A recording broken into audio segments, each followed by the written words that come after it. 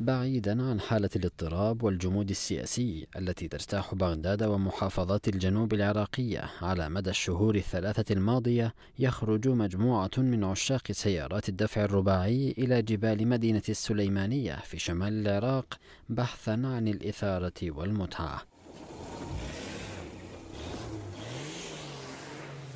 فلا متعة لأعضاء فريق سليماني أوف رود جروب الذي تأسس قبل ثلاث سنوات تعدل متعة قيادة السيارات ذات الدفع الرباعي والتسابق على طرق في غاية الوعورة والخطورة.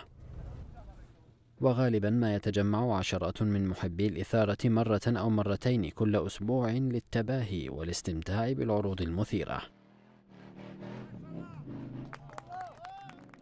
قائد الفريق فائق صادق سيارات نستخدمها بهاي اللعبة أكثريتها سيارات آه، موديل القديم لأن هم السيارات آه، يعني نسبيا هم رخيص هم أغراض الاحتياط المواد الاحتياطية رخيص.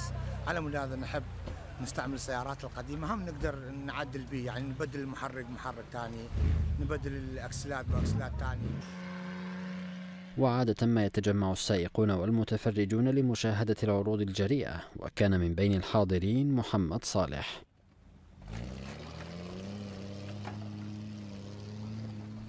اليوم حضرنا إلى جبال اقليم كردستان جبال جميلة وفيها ناس شباب واعين على رياضة السيارات.